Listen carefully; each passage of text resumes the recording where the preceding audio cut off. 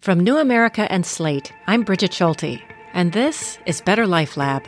I've had a great career. I love being the CFO of this bank. So I don't think the fact that I did it differently has held me back in any way. My oldest daughter, this summer, she was talking to me about how she liked that I was around. She looks back and says, My family was able to do that. I really want to find a way that I can do that as well. That's Michelle Hickox. I spoke with her from the bank just outside Dallas, where she's now Chief Financial Officer. Some surveys show that people think work life balance for top leaders is impossible. It's a myth. But Michelle shows that that's not true. She found a way to build a powerful career and protect the time she needed for her family. And she did it when few of her coworkers even dared to speak about things like flexible schedules or working reduced hours.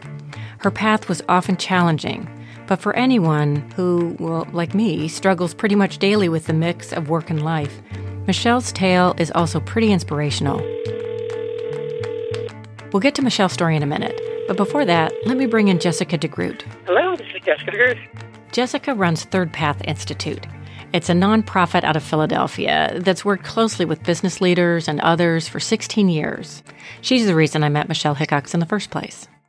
Jessica is on a mission not only to help families better share work and home responsibilities, but to help make the American workplace better.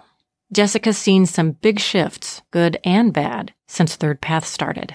16 years ago, when I said this was a men's and women's issue, both men and women really pushed back and said, I don't think men care about this. And I hmm. said, Well, I don't think that's true.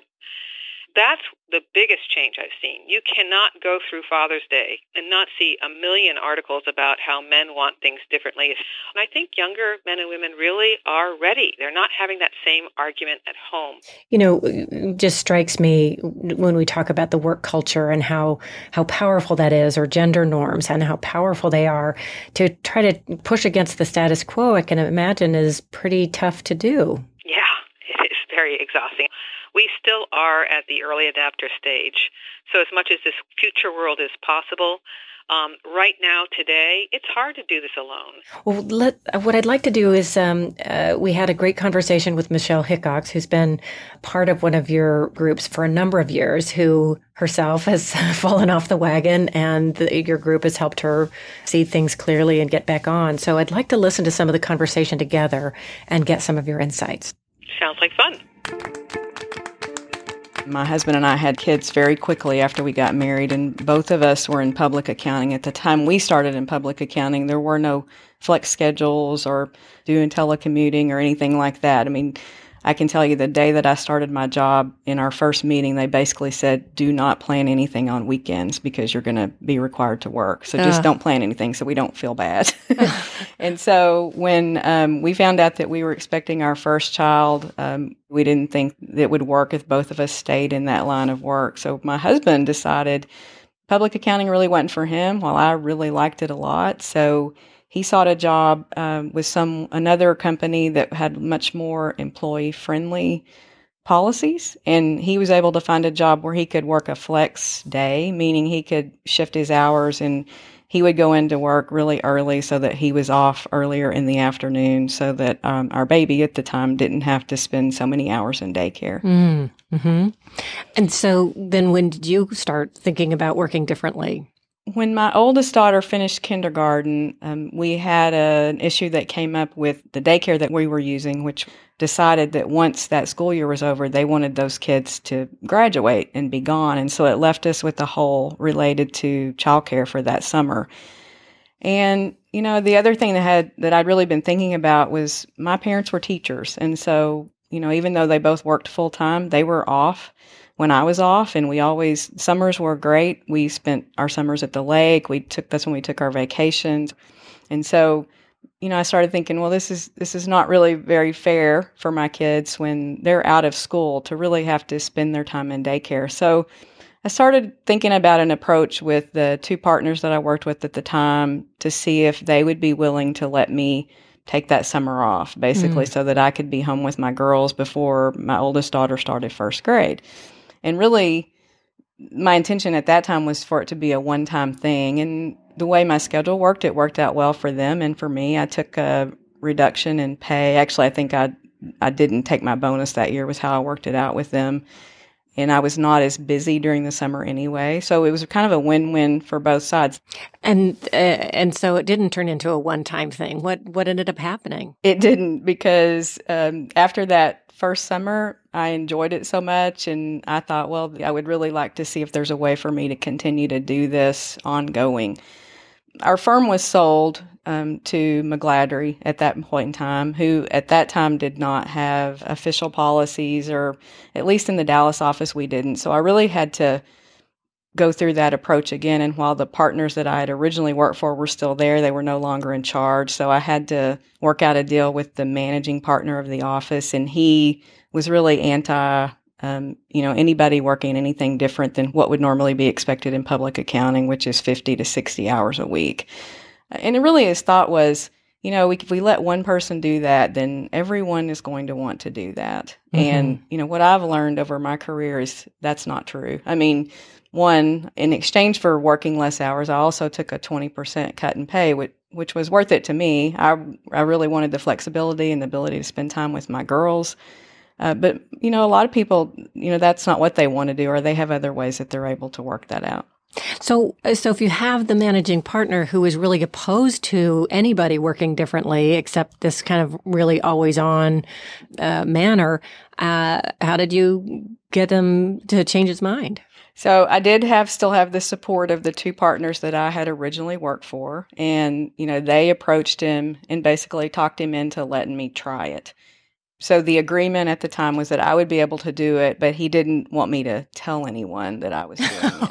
And and I will say that that caused issues, and I actually almost gave up on it um, and decided to look for uh, you know another job because part of the agreement was that when we were not so busy, which was in the fall, I would leave at four in the afternoon, you know, so that I was home in time to have make dinner, you know, spend the afternoon with the girls and Rob. And, um, you know, I'd be getting on the elevator to leave. And these people would just be going, "Wow, Michelle, you're you're taking off early today, or it must be nice to leave this early." Mm. And well, that was because no one knew what my arrangement was, and yeah. so you know, it made me feel like everyone thought, "Well, I was not committed to my job, or I was not working as hard as everyone else," and they didn't know that I had an arrangement, and I also had taken a reduction in pay to be able to have that arrangement. And so, mm. after that first year I was like, you know, I'm not really sure if this is really working. Fortunately, we had a change in the managing partner. Uh, another partner from the firm moved in who was much more open to flexible schedules. And the firm, I think, at that point in time was going through a change too, where nationwide, you know, it was a national firm, they were rolling out more flexible schedules as well. And so what I found is that the more people that knew about it, the better I communicated it to people, the better it worked. Mm.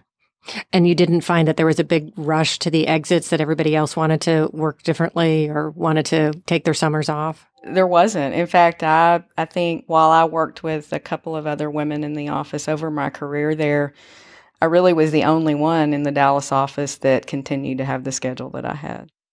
So, Jessica, um, so one of the things that really strikes me is how important it was to have leaders who were willing to try something different. Absolutely. I mean, I think it still took a lot of courage on Michelle's part to really be the one to kind of step up and say, this is something I'd like. So, yes, absolutely, the leaders had to, to kind of match her in her courageousness and try something out with her. But what you can also hear is that you know, she had to keep on pushing. Um, it wasn't easy to begin with, and there was some criteria to to keep it under the radar. And she said, "No, got to keep make this more transparent." It strikes me you talk about being transparent, you know, and then when you hear little conversations here and there, it, people kind of whispering, "Well, I leave too. I just don't let anybody know, or I pretend I'm going to a client, or." And then there was a Harvard Business Review article that came out not that long ago that basically said people are really good at pretending they work 80 hours so that they look good, but yes. that, you're right, but that you know the bosses they can't even tell who's working and who's not. You know, so because we don't have that transparency, I'm wondering is that part of the reason why this kind of overwork culture persists? I mean, I think that's one part. I mean, honestly, I think what we've started to see is that there's just so much ineffectiveness that happens when we overwork um, and then it perpetuates more ineffectiveness. A simple example is that you know you don't actually have time to plan for that thing that's going to happen in a month, and then suddenly that thing arrives, and you're not ready for it, and so you have to all crank harder to get ready mm-hmm. for it, and it's just it perpetuates a cycle of, of overwork. Uh, so talk about kind of what is the current situation, if you will, the current reality. What's your vision, and and how far away are we in that gap? One of the things that changed over the last 16 years is the double edged sword of technology became much more transparent. So clearly, we can really do work differently. You know, time to care for your aging parent or time to care for your children, time to be involved with your community. Those ideas are really possible because of technology. We can do work anywhere, anytime.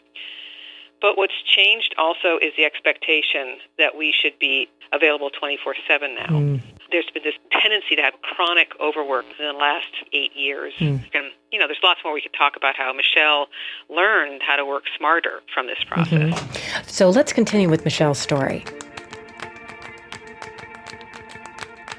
So did that, you know, working 80%, taking the summers off, leaving at four in the fall, did that affect the the quality of the work that you did? Uh, did that uh, did that affect your chances at rising there? It didn't. And the one thing I would say about public accounting or even client service work in general is that um, at the level I was at, you have the ability to, you know, the your work is determined by the number of clients that you have. And so I was had the ability to manage that schedule. But there did come a time before I made partner um, our national HR director was in our office one day and was just talking to me about, you know, getting in the partner development program and being uh, promoted to partner. Mm-hmm. And I told her at the time, I said, you know, I really, that's not really something I'm interested in right now. I love my flex schedule. I don't want to give up my flex schedule to be able to get to partner at this time. And and she just said, you know, Michelle, that's not really a choice. You don't have to choose between one or the other. You know, you can get the qualifications to get to partner without giving up your schedule. And mm. I was like, wow, you know, that's that's great. Then that is something I'm interested in. But I think I felt like I also needed to talk to my husband about it because while I knew that I, if I could still maintain my schedule, you know, just being in that program, which was a three year program, required me to travel more. Mm-hmm. Um, there would be more responsibilities and probably some changes to my schedule, even though I was able to keep it for the most part. And so he and I basically had a discussion at that point in time to say, hey, you know, this is an opportunity, but it's really a choice we need to make together because I knew having to take care of the girls by himself while I was gone, mm-hmm. he needed to be on board before I made that decision. And um, he was. And, you know, fortunately, it all worked out. So I was in the program. I made partner after two years in that program. And while, you know, at that point in time, you kind of are the primary contact with the clients. Um, mm-hmm. So it did change my responsibility somewhat. Um, I was still able to work that 80% schedule until I left the firm at the end of 2011. So, so how many years did you did you end up working that uh, that flexible schedule where you took summers off? Uh, about 10 years. 10 mm-hmm. years, and you made partner. Uh, did you tell your clients? Did they freak out when they when you said I'm going to be at the pool with my kids in, in the summertime? You know, my clients actually were fine with it. In fact, they appreciated. You know, before I would leave, um, when I was not in the office, I sent a communication to all of my clients, even the ones that didn't have work that would go on that time of the year, just to let them know what my schedule was, where I would be, and I didn't, there weren't a lot of clients. There were a few clients that I would give out my personal cell phone number to. And the, and the, and that your team was able to handle the rest of it? And so that to me was one of the best things that I don't think anybody realized about that was that I was able to delegate to my team. And I had a couple of people that worked for me over the years that because of that delegation and getting them in front of the clients and making sure that if the clients knew that I was not there, that they were available um, really helped them to grow and got promoted from senior to manager to senior manager. And so it benefited them as well as me because they were able to grow more in their responsibilities and benefit from that as well. You know, there was a, Harvard Business Review article not long ago looking at a survey of a number of top leaders, sort of partners like a, uh, at your level. And the, the consensus was that having work life balance was either, it was, quote, an elusive ideal or a complete myth. So, what you're describing is something that most people don't think is possible. You made partner and you worked for 10 years with a, with a schedule that gave you a lot of time for your family and your life.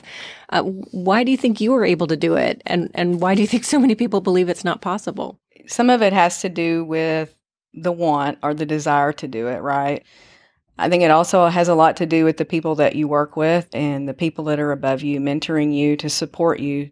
I think even in companies where there are flexible schedules or benefits, um, some of that just depends on who it is specifically that you are reporting to or who is managing a certain department. Um, mm-hmm. I think I've had a supportive spouse at home where we've been able to work that out together. So I think there's, you know, lots of different things that go together to make all of that work. So, Jessica, what sort of what's the recipe, if you will, to to make working differently, working and living differently work? Yeah. Well, again, it's you know, how did Michelle do it as an early adapter? You know, so there, that's the question. You know, she did this a number of years ago when it was really uh, more unusual to do, and and how do we want people to be able to do it ten years from now? Um, and, you know, my hope is that we really create a world where it just becomes much more normal. We see people around us, men and women, who have done this differently, and it won't take so much courage to do it differently. But what you hear from Michelle's story is something I've heard over and over again. Her clear desire that this is what she wanted and her support at home that this is what made sense. We can do this together. Um, there was clarity at home. So even though they were facing that external barrier of maybe the less supportive workplace, the less supportive boss, they were willing to partner at home to figure it out and make it happen.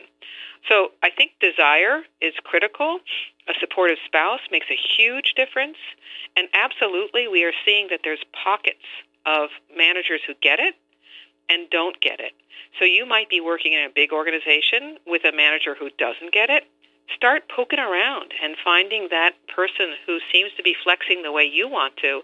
Find out who they're working for, and I bet you can move to a different place in that same organization and get more hmm. support. Mm. Yeah, that's interesting. Uh, I worked a, a, reduced schedule after I had my daughter, and I remember one of the requirements was that I don't, I didn't tell anyone that I kept it a secret because they were worried that yeah. everybody would want the same thing. And I, re- I just remember feeling really badly uh, that that was somehow, you know, not only was I seen as not as committed, um, you know, but that also, you know, you kind of had that feeling you were sneaking around when in fact in, in, fact I did really great work. I won an award for a series while I was on that reduced schedule and I had time with my kids. And it I sort of kept that all under wraps so nobody ever knew. So it didn't, sort of didn't didn't help change the culture at all. I wonder yeah. how many well, other people are like that. And, and I think you know that there really is some risk involved with it. There are some industries, like law is a classic industry, where you know there's some serious risk to do something differently. Um, you will literally not make partnership if you ask to do it differently in many law firms.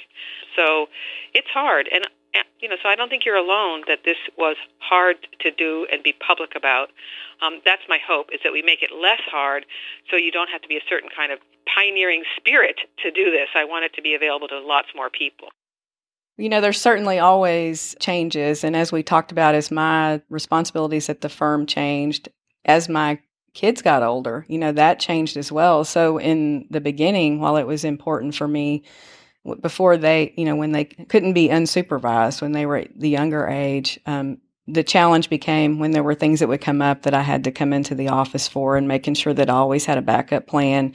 Either my mother was available or a neighbor or a friend or someone was available to, you know, kind of fill in in a pinch for me if I had to be in the office for something. Mm-hmm. And then it got to be, you know, it wasn't so much summers, but they got into club sports and that type of thing. So I flexed my schedule a little bit where I actually worked more during the summer so that I could um, be more off during the school year, leave earlier in the afternoon. Mm-hmm. And so I think that's I think that's one of the things where I've seen people that have attempted this, and there were a, a few people at the firm, um, other women who had children that tried it, and what the advice I would give is that you can't just try it and then give up on it really quickly. If one thing doesn't work, you have to try, try again. and be willing to be flexible and to see if you can do, you know, a couple of things to try to make it work. Because I think had had I given up, you know, that first year, I really could have given up easily. Sure. Um, you know, when we were talking the first time that we met was at the Pioneering Leaders Summit that Third Path Institute puts on with people who are trying to work differently and, and some with greater success than others. And certainly when I went, I was not having great success with my own uh, work life balance. And, and at that point, you were struggling too. Um, can you talk a little bit more about that?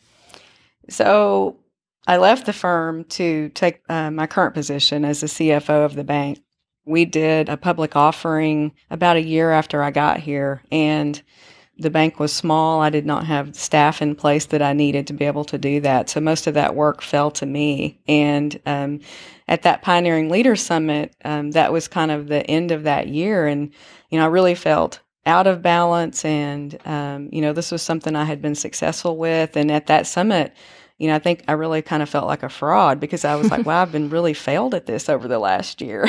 and so the one thing I found really, though, was that taking the skills I learned um, at McGladrey when I was a partner there to a bank, they didn't always work exactly because the work is different. This is a place I'm expected to be all day, every day, versus um, in client service. You never know where you're going to be or who you're working with. And so that was an adjustment and just the workload. There was just really too much work for me to do. Mm. And so, um, really, how we solved that was I was able to add to my team and finally have enough people in place to get my life back in balance. Um, but the one thing I have been able to do with my skills here is two of the women that report to me have young children. The bank, you know, just it was a small company, work life balance and those types of things wasn't really anything that anyone really thought about here. Mm-hmm. And it mm-hmm. wasn't part of the culture. And so I've worked really hard to bring the skills I've learned, um, not, you know, not just for me, but for the people that work under me, because I feel like you can attract and retain um, really great people if you're willing to provide benefits like that. My financial reporting manager, which that work ebbs and flows. She has an eight month old and a almost three year old. Mm, and so wow. I've worked with her, you know, to get her technology. She can work from home if she needs to. Um, we actually have a branch that's about five minutes from her house. So we've set her an, up an office there. So she comes to the corporate office, which is probably a 45 minute commute for her on the days that she needs to. But, you know, there are days that I get a call from her where she says, I just, things are too crazy at home. I'm not going to be able to make it to McKinney. I'm just going to work from Coppell. And she can do what she needs to there. And mm-hmm. that's fine. And I think what my staff would tell you is they feel totally comfortable with that because I've modeled it and, you know, I totally understand it. I've been there. yeah. I think it wasn't necessarily that, like, my boss is the CEO. I don't think that he was against it. I just don't think he had really ever thought about it. So, you know, we were talking about some employee benefits about two years ago, and everything was on the list except there were no parental leave benefits. And I said, you know, why don't we, which had become personal to me because of my employees. And I said, why don't we have maternity leave or parental leave benefits? And he said, well, I didn't know that we didn't. We do. We do need to have that. and so he just didn't know. Yeah. So, wow. I mean, sometimes I think just because it doesn't exist or no one else talks about it doesn't mean that no one else has thought about it or is against it. So, you know, that really taught me I just need to speak up. And in fact, he got on to me in that meeting and he's like, Michelle, you, we are relying on you. You have an outside perspective.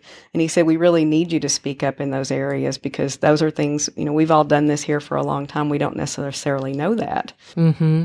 So last thing I wanted to ask you is like, so you've, you've worked differently. You spoke up. You asked for things that a lot of people are too afraid to ask for. You actually got them. You were successful. You rose in your firm firm. You've got this amazing position. What has it all meant that you uh, that you made this choice to work differently?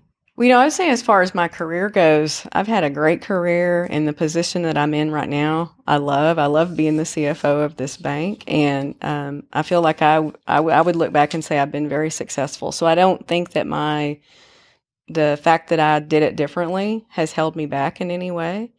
Um, if you ask my girls who are both in college now, my oldest daughter just turned 22 and she has a serious boyfriend she's not engaged, but they probably will get married when she graduates from college. And this summer, you know, she was talking to me about how that was important to her, that she liked that I was around, you know, when she mm-hmm. needed me to be around, either during the summer or um, school events or whatever it was. She never felt like um, that I missed out on anything she's a chemical engineering major and her uh, boyfriend is probably going into public accounting just like I was. And so mm-hmm. they actually already having conversations about once they are married, how to make it work, how to share care. I mean, it's just very interesting to me that they're thinking about that in advance because I didn't think about that until I was expecting her. That wasn't even anything that ever entered my mind.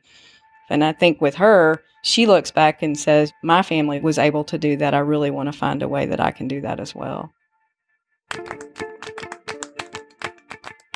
So, so Jessica, what do you think? We can do work differently and do it successfully. And clearly, Michelle's trajectory as uh, a career proves that, right? But not only did Michelle have success at work, she modeled something not just herself, but her husband modeled something to their children, and their children watched them every single day, and they learned something different. They learned they don't have to have a life where work requires all of you, but instead they saw the value of living a life where work is something that you do and you do excellently, but you also have time to invest in your family and your relationship with your partner. And so their Michelle's daughters watched Michelle do things differently, and they watched Rob, Michelle's husband, do things differently. And lo and behold, kids grow up. And so here are Rob and Michelle as empty nesters, and they can actually live their life in a really cool way and still have a lot of love for each other, a lot of, you know, a big sense of who they are as people. So it turns out this is a really successful solution for us and our workplaces for our children, for our relationships. I'm not talking crazy ideas here. This is what's possible for everybody. We can do this. All right, great. Well, Jessica, th- this has been fantastic. Thank you so much for taking the time to talk with us today. You are welcome. So glad you're doing the work you're doing. Jessica DeGroot runs the nonprofit Third Path Institute online at thirdpath.org. We also heard this episode from Michelle Hickox. She's Vice President and Chief Financial Officer of Independent Bank. It's a $5.5 billion bank serving North Texas, Houston, and Austin. I spoke with Michelle from her office in McKinney, Texas. For more resources on working healthier, visit us online at newamerica.org. Click on the link for Better Life Lab. Better Life Lab is produced by New America in partnership with Slate. Thanks so much for joining me for our podcast about the art and science of living a full life. It's a collaboration with Ideas 42, supported by the Robert Wood Johnson Foundation. Our producer is David Schulman. If you enjoyed this episode, review us on Apple Podcasts. It'll help us get the word out. From New America's Better Life Lab, I'm Brigid Schulte.